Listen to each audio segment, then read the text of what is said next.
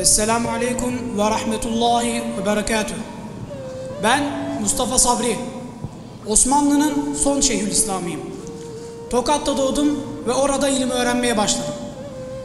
10 yaşımda hafız olduktan ve ilk icazetimi aldıktan sonra ilim öğrenmek için Kayseri'ye, oradan da İstanbul'a geçtim. Genç yaşımda Ruhus imtihanını kazanıp Fatih medreselerinde müderris oldum. Bana daha sonra anlattılar. Babam İstanbul'a gelip benim dersimi gizlice dinledikten sonra ben daha çok talebe olmasını isterdim. Çok erken hoca oldu demiş. Talebeler sakın siz hoca olmak için acele etmeyin. İlminize odaklanın. Şeriat ilimlerini en güzel şekilde ve en sağlam şekilde tahsil edin.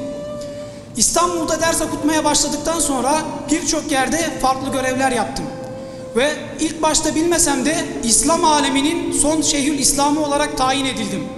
Cumhuriyetin kurulması ile Mısır'a gitmek mecburiyetinde kaldım. Ümmeti Muhammed'in son şeyhül İslamı olmama rağmen Mısır'a gitmek mecburiyetinde kaldım. Ümmeti Muhammed'in son, son şeyhül İslamı olmama rağmen beni vatandaşlıktan çıkarttılar. Papası için her şey yapacak olan Hristiyanlara karşı Müslümanlar Şeyhül İslam'ını ve beni unuttular.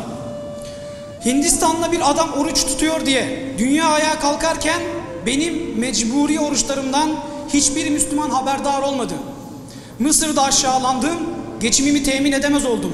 Ama yine de isyan etmeyip bir ilim adamı olarak kalemimi kuşanıp vazifemi yaptım. Mısır'a geldiğimde burada birçok kişi İslam adına bidatleri dillendiriyorlardı. Eski İslam alimlerinin sözlerini çarpıtıp insanlara dini yanlış anlatıyorlardı. Ben de hemen kalemimi alıp onların bu zehirli sözlerini susturdum. Mısır'daki Ehl-i Sünnet Kalesi'ni son mürekkibime kadar savundum. Öyle bir savundum ki artık rahatça konuşamaz oldular. Tabii ki bunlar benim zaferim değil, anlattığım hakkın zaferiydi. Geri kalan ömrüm boyunca Mısır'da hem Türk talebeleri hem de diğer talebeleri okuttum. Onlara İslam şuurunu akıttım. Birçok kitaplar yazarak İslam ilimlerinin savunuculuğunu, savunuculuğunu yaptım. Müslümanların gidişatını düzeltmek için çabaladım. Ey talebeler, Müslüman kardeşlerim, ben Müslümanların son Şeyhülislam'ı Mustafa Sabri. Artık aranızda değilim. Ama İslami ilimlerin varisleri olan sizler hayattasınız. Bu ilimlerin sancağını size teslim ettik.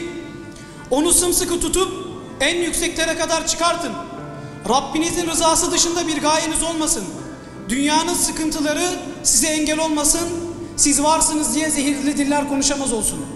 Rabbim sizi ve bizi davasının yolunda koşturanlarla beraber haşreylesin. Amin. Esselamu Aleyküm ve Rahmetullahi ve Berekatuhu.